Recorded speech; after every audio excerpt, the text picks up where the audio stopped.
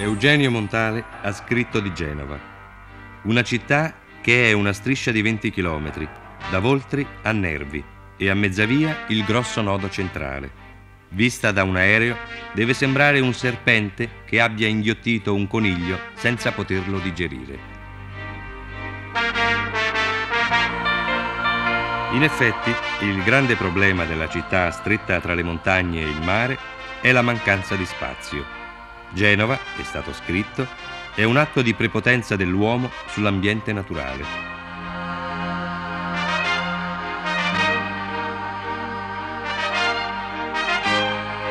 La città si è sviluppata per la sua posizione di nodo rispetto alle correnti di traffico, ma alla posizione corrisponde un luogo impossibile per crearvi un centro urbano.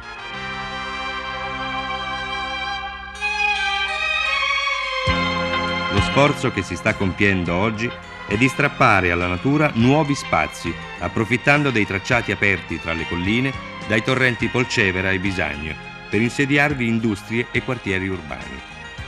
Il proposito, certamente ambizioso, è di riequilibrare la città, darle nuove vertebre, rimodellandone le periferie.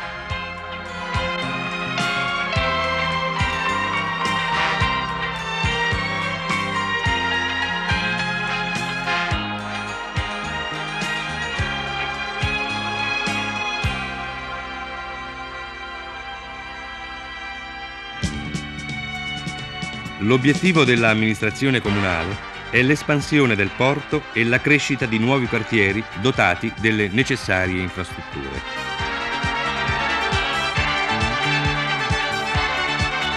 In collaborazione con l'imprenditoria privata sono stati fatti investimenti per centinaia di miliardi ed è stata raggiunta la soluzione di problemi spinosi come quello della raffineria Garrone, che sorta al centro della Val Polcevera verrà progressivamente ridotta fino alla eliminazione. In quest'area poi saranno agevolati tutti gli insediamenti industriali.